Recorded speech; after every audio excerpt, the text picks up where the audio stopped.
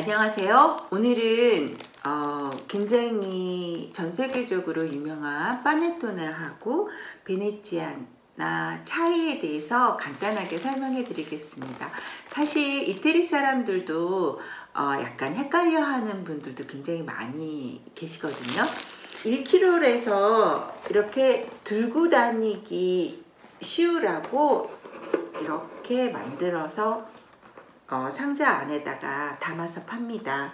그래서 겨울에 특히 12월 달 되면은 많은 사람들이 이렇게 들고 다니는 모습을 많이 보셨을 겁니다.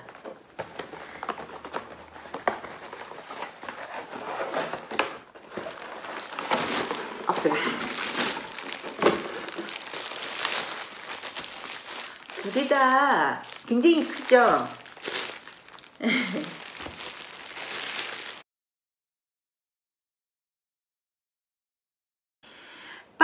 파네토네는 밀라노에서 어, 처음 만들어서 먹기 시작을 한 거고요. 베네치아나는 어, 이름 그대로 베네치아에서 만들어서 먹기 시작했던 빵입니다. 어, 얘는 이제 파네토네라고 해서 큰 빵이라는 뜻이에요. 빠네가 이태리 말로 빵이라는 뜻인데 빠네 또네가 붙어가지고 큰 빵이라는 뜻이에요. 예를 들자면 이태리에서 어, 포크를 포르케타라고 하는데 그거를 갖다가 큰 포크를 이제 이태리 말로 포르케토네라고 얘기하거든요. 그런 식으로 빠네토네는 큰 빵이다라고 생각하시면 됩니다.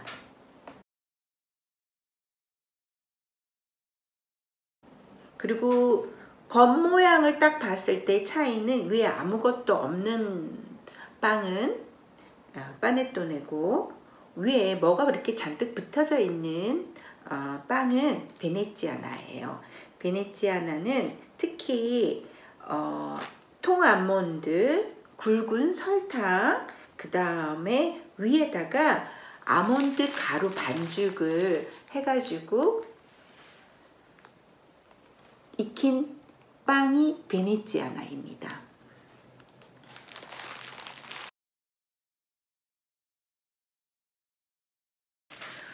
주로 언제 먹냐 하면은 파네토네는 거의 그 나탈레 그러니까 성탄절에 먹어요.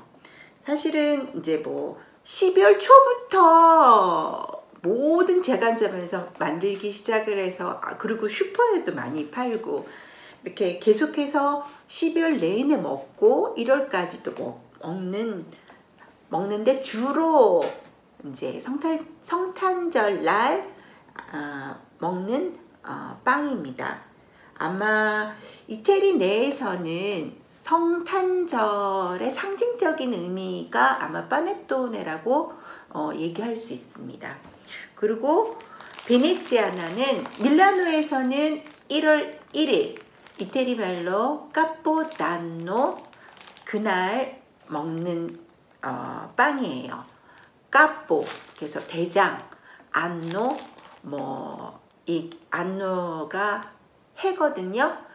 해 그 해의 첫 번째 대장 첫날이라는 뜻이에요. 그날 베네치아나를 먹습니다.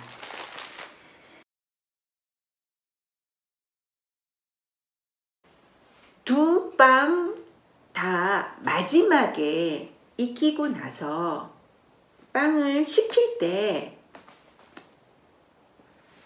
여기 구멍 뚫린 거 보이시나요? 이렇게 양쪽으로 큰 셀을 갖다가 딱 집어넣어 가지고 뒤로 딱 이렇게 엎어서 식혀요. 왜냐하면 이렇게 놓으면은 계속해서 무거, 무겁기 때문에 쭉쭉쭉 가라앉아서 점점 낮아지거든요. 그 대신 이렇게 뒤집어서 식히게 되면은 빵이 굉장히 부드러워요.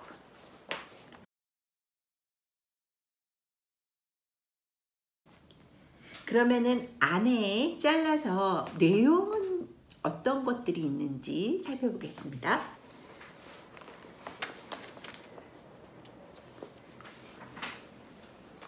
보이실지 잘 모르겠지만 파네톤에 들어가는 아 뭐 안꼬라고 해야 되나 안에 들어가는 것 중에 건포도가 있어요.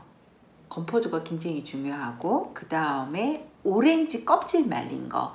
그 다음에 체드로라고 해서 레몬과에 속하는데 레몬보다 훨씬 크고 레몬보다 조금 더 흰색이면서 단맛이 훨씬 더 강한 어, 체드로라고 하는 시칠리아에서 많이 재배되는 그 과일 껍질을 갖다가 시럽으로 해서 말린 거를 세 가지를 안에다가 넣어요.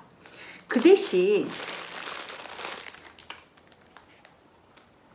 베네치아나는 오렌지 껍질 말린 것만 딱 넣어요.